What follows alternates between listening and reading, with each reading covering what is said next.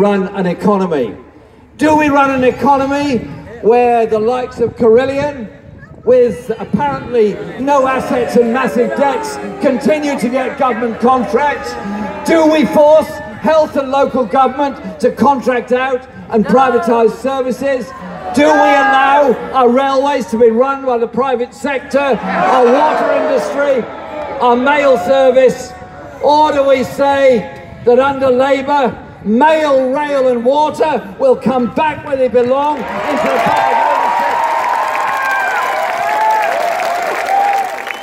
And that it will be democratic and it will be well run. And that we will harness the powers of investment open to government to establish a national investment bank for every part of the UK. And that National Investment Bank will invest in all parts of the country. Those that lost their jobs in the skilled industries that were destroyed by Margaret Thatcher and her government on that altar of free market have been replaced by the likes of Sport Direct, zero hours contract, insecure work. What we will do is invest in long-term, secure, high-quality, decent employment with rights at work from day one on entering the workforce.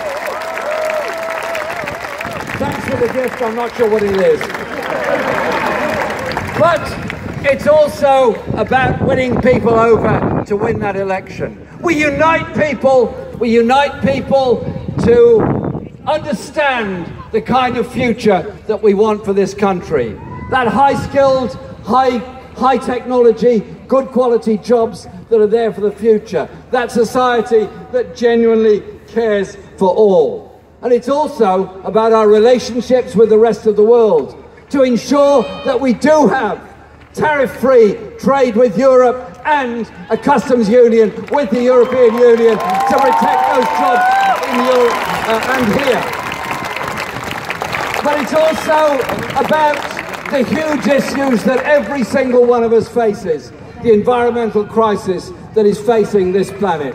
Donald Trump might want to walk away from the Paris Climate Change Agreement. We do not. We support it, we welcome it, we would work with it.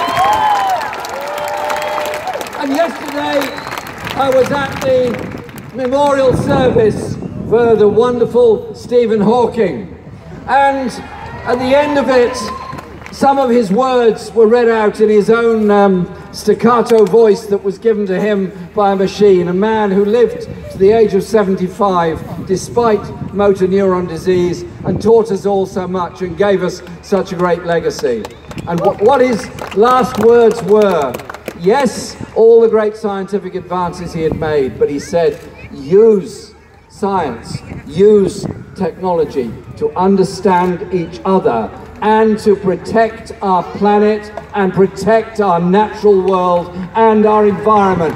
Use technology to support environmental sustainability. Because if we don't do that, then we all have problems in the future. Again, if you leave it to the market, you pollute the air, you pollute the river, you pollute the sea, you destroy the natural ecosystem, and we end up wheezing our way through polluted cities and watching our rivers be polluted and our natural world disappear around us, and we all suffer as a result of it.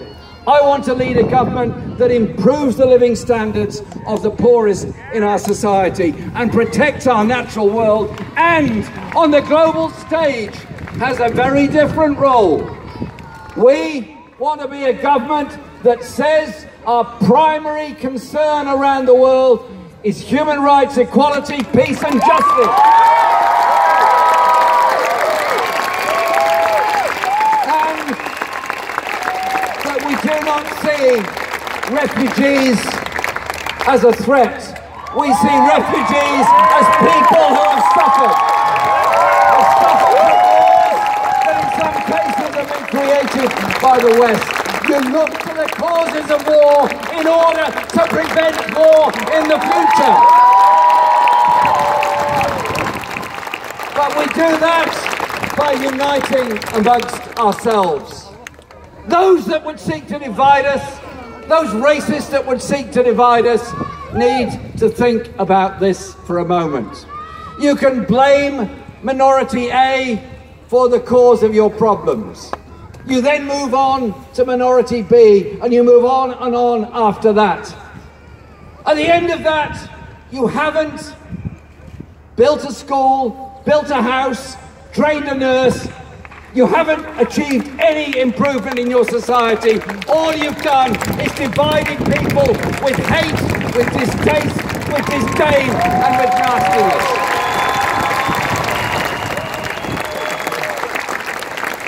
On St George's Day 1977, the National Front, the fascists of their day, tried to march up Wood Green High Road to go on and hold a rally somewhere else.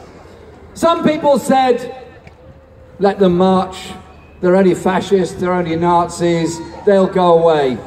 Some of us, all those years ago, said, no, we are not prepared to allow our multicultural society to be, to be divided by these people. We will stand as a community in unity against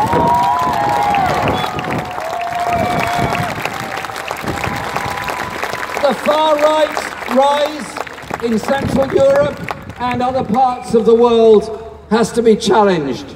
Challenged by recognizing we are different, we are diverse, we have different backgrounds, we come from different countries, we have different faiths, but our differences bring us together and make us stronger. We learn from each other, we learn from each other's achievements, we mourn each other's defeats and problems. But together we're a very strong society. Never, ever allow any racists to divide us. We will never tolerate it.